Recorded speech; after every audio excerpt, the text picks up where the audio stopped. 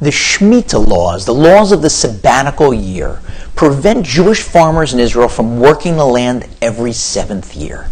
But God gives them reassurance in this week's Torah portion. He says, When you enter the land, the land will provide its fruit for you. You'll eat until you're satisfied, and you'll dwell securely. And if you'll ask, What will I eat during the seventh year when I can't plant and I can't harvest? God says, Don't worry, I'll give you a special blessing. The sixth year's harvest will be enough food to last for three years. The sixth year, the seventh year when you can't work the field, even into the eighth year when you can first start planting again. One commentator says, when would the Jews have asked the question of, What will I eat during the seventh year? It couldn't be on the eve of that first seventh year, that first Shemitah year, because by then they would have already taken in that sixth year harvest that threefold bounty. So there would be no need to ask that question. It must be that they would have been worried long before when they first entered the Holy Land. Day one of year one, looking ahead saying, What's going to be in that seventh year?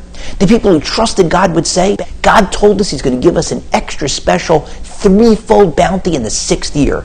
So we're just going to eat and not worry about anything. We trust God, just like in the wilderness, when every Friday He'd give us a double portion of the manna, enough for Friday and for the next day, Shabbos, when the manna didn't fall. But the people who didn't believe would hedge their bets. Right away, they'd start squirreling away food into a silo, making a special reserve. What if God doesn't come through on his promise? Ah, but in that first sixth year's harvest, when everyone got that triple bounty, even those who squirreled away food would have seen, oh, it was all for naught. We should have just trusted God. There was no need to save up that food. In that case, that question of what will we eat would have only been asked one time in Jewish history. So that commentator continues, there's no way that God included it if it was only a one off. Because here's what actually happened. When they got to that first sixth year in Israel, those who believed in God and hadn't stored food, they got that threefold harvest, that extra blessing. But those who had saved food, had squirreled it away, showing God that they didn't really trust Him, they didn't get that extra bounty. God doesn't give an extra blessing beyond what you'd expect from natural law to people who have demonstrated that they don't believe in Him. So going back to that original passage when God said, the land will give you its fruit and you'll eat till you're satisfied, that wasn't God's prediction. That was a command. He was telling the Jews, I want you to show me you believe in me. During those first six years, eat until you're satisfied. If you're on a diet, I understand. If you're working on self restraint, I get that. But if you're squirreling away food because you don't trust me, I will know that, and then you're on your own.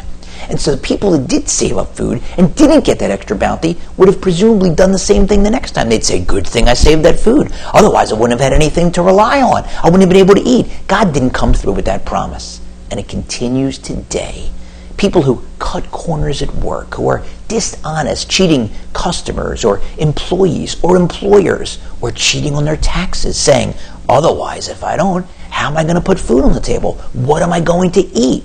They're demonstrating that they don't trust God, in which case they're on their own. The more you trust God, the more you get. Extra blessings beyond what you could have even imagined or asked for. But if you don't trust God, you don't get those blessings. At the end of the day, everyone gets what's coming to them. We all get our just desserts. I said leave him alone. You want to take his place? Midget? Yeah.